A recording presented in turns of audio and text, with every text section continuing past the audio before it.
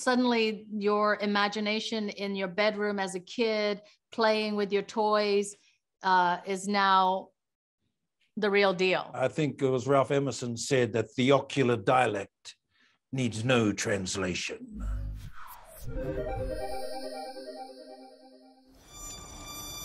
I am not a bounty hunter.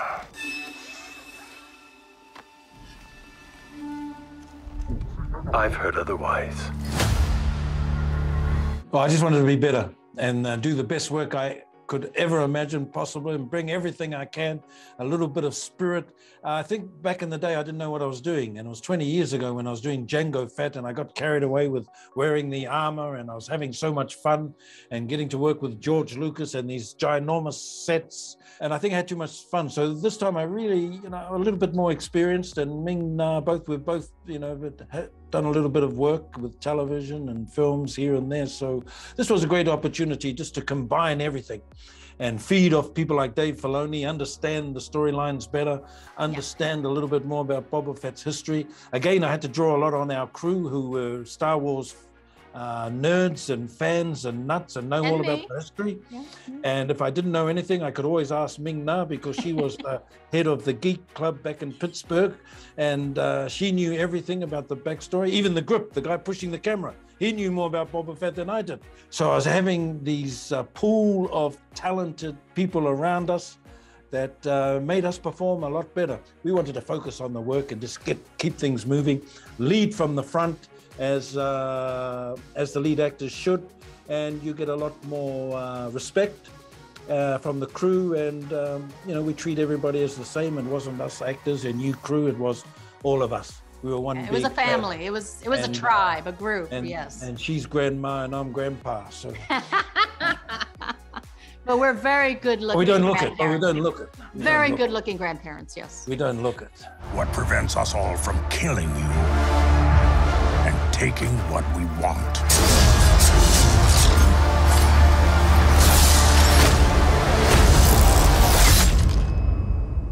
If you had spoken such insolence to Jabba, he'd have fed you to his menagerie.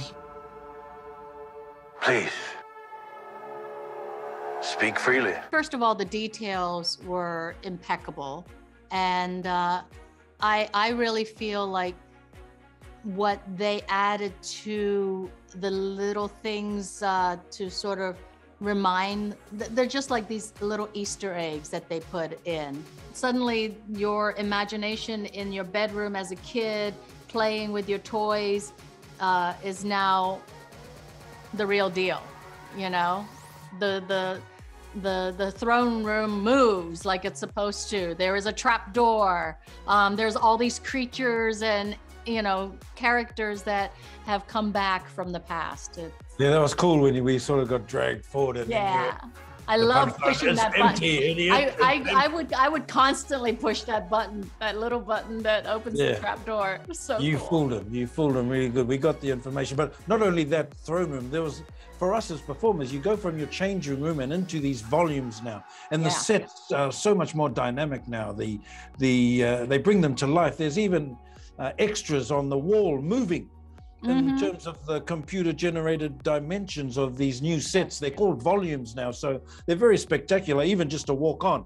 But yeah. by lunchtime, you kind of get used to the surroundings, and then it becomes hard work. But again, just uh, being within that environment, and uh, and Jon and Dave, just and Robert Rodriguez set a wonderful platform, and yeah. you know gave us a lot of confidence to to do uh, the best work we could possibly come up with.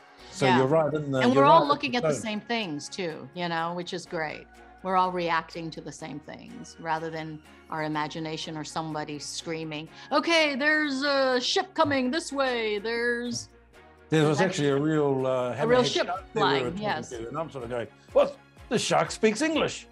you, you, can go a little crazy sometimes, and then the other guy with some other outfit starts talking back to you. So yeah, it's uh, quite colourful. Uh, some of the uh, the theatrical experiences we have with the different characters and and the other elements that we have to work with. But again, we work with so many talented people that bring these things to life. So my my utmost respect go to you know those people in the crew, the makeup, the prop guys, the people that make all these people animatronics. Yeah, like the mayor. The mayor was ridiculous, right? Yeah, he was the poor guy from props. Remember, he got the, oh my gosh, he had to sit in that outfit and remember the lines and For remember hours. the lines and move his hands there. So yeah. it was uh, there were some yeah. funny days. Put it that way.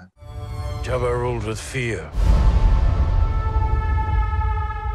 I intend to rule with respect. I didn't want to say too much. And uh, I think it was Ralph Emerson said that the ocular dialect needs no translation. yes, yes. Uh, that was pretty good, I thought. I've had stunt fighting training for so many years now. I mean, at least seven or eight with Marvel's Agents of S.H.I.E.L.D., and then now doing this. And one of um, the most impressive thing, I think, is that people don't realize that stunt fighting is an art form in and of itself. And for it to look good and work, you have to know camera angles, you have to know rhythm, how to how to punch, where to punch. And I had an incredible stunt double, Ming Qiu. She's a wushu master, and I've been with her for over 10 years now. And she's been my trainer, my confidant, my ball buster. I I love her to death, and and definitely, uh, you know, she's she's my incredible mentor, my sensei. Yeah. Yeah, it was good to bring the Tusken family alive in this series as well and find out more about their culture.